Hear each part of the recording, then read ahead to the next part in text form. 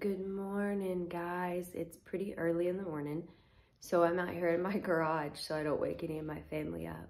But I just wanted to come on and share some something encouraging and something that my husband and I have, have been going through. Um, right now, we've been going through a pretty intense struggle. And it seems like yesterday, the fight was on, man. The last 24 hours, it felt like we were in the boxing ring, trying to just get our way out.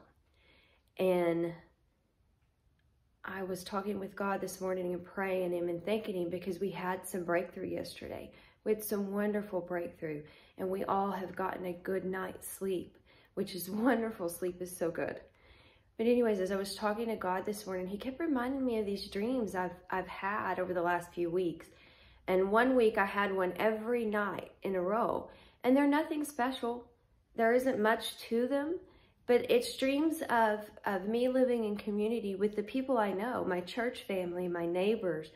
But it, in the dream, it was like a, a really, really small town. And they all lived together and we were all there for one another and we all provided for one another and we all supported one another. I mean, that was the basic dream. Nothing major ever happened. We were just always there for one another. And after yesterday, as I sat and thought about everything that we had gone through, the struggle we were going through was something we had never faced before.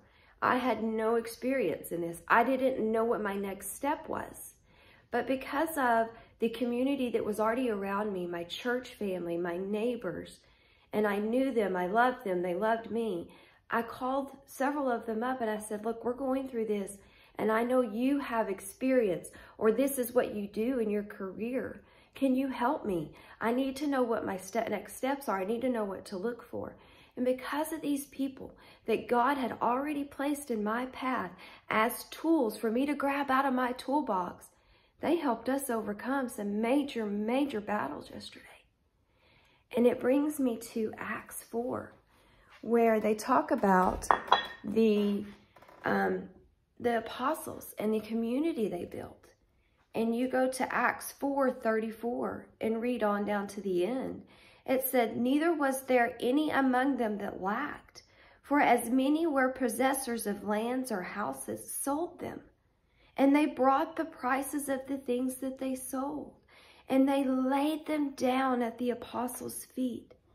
And distribution was made upon every man according to his needs.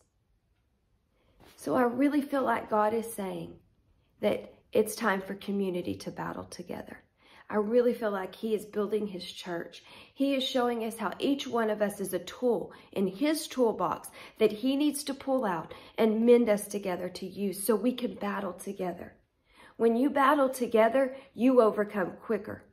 When you step out and you lean on somebody else, that's twice as much strength that you're able to get through and get to the next one. So it is about community battle.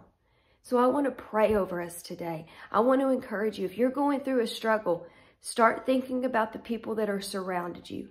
Start thinking about what they do, who they are, if they are a tool that you can grab to come along and help you battle. Sometimes we have tools in our own toolbox that we need to lend to our neighbor. And that is what it's about, building community because we have got to start battling together. So let me pray for you.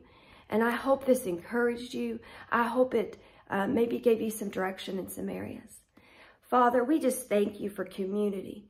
We thank you for your word and what the apostles did and how they are showing us that we have to lay our foundation just as they did on you and that you were a servant.